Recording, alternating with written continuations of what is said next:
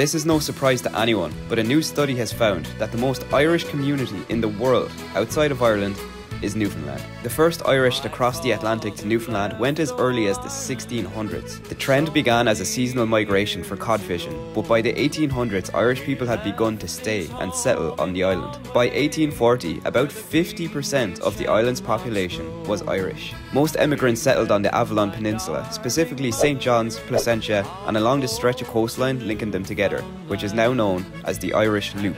Most of these Irish emigrants originally came from the southeast of Ireland, in counties like Wexford, Waterford, and Kilkenny. Even though a lot of the residents today have never been to Ireland, many people around the Irish Loop area even still have the Irish accent and use Irish sayings that aren't really used or understood anywhere else in the world. And Newfoundland today is known as the most Irish island in the world, outside of Ireland.